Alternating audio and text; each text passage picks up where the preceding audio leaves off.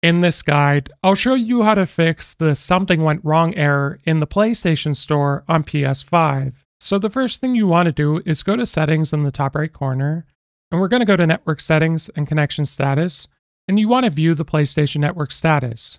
Now, if all services are up and running, that's great. That means it isn't the problem. But if you see any yellow or red right here, wait for this to be fixed and then try and make your purchase.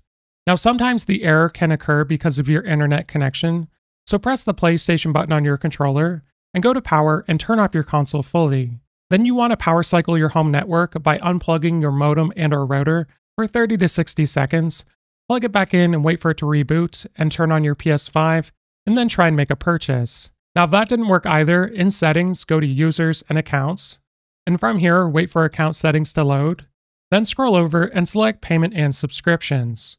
Now from here, select payment methods, and with your payment method, press the options button on your controller, and then you want to remove it and re-add it and try and make a purchase.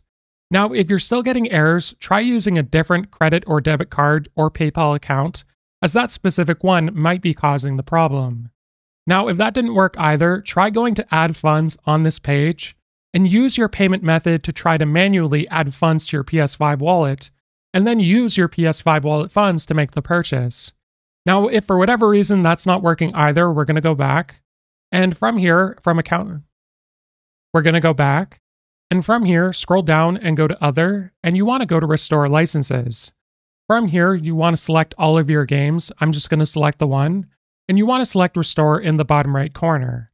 Then just wait for this to finish, and once it's finished, you want to go back to the PlayStation Store and try and make a purchase. And if all else fails, a surefire way for this to work is to simply purchase a PlayStation gift card in store or online, and then coming to the PlayStation Store on your PS5 and selecting more in the top right corner, and then redeeming that gift card to add those funds to your wallet. If this guide was helpful, like and subscribe, and we'll see you in the next one.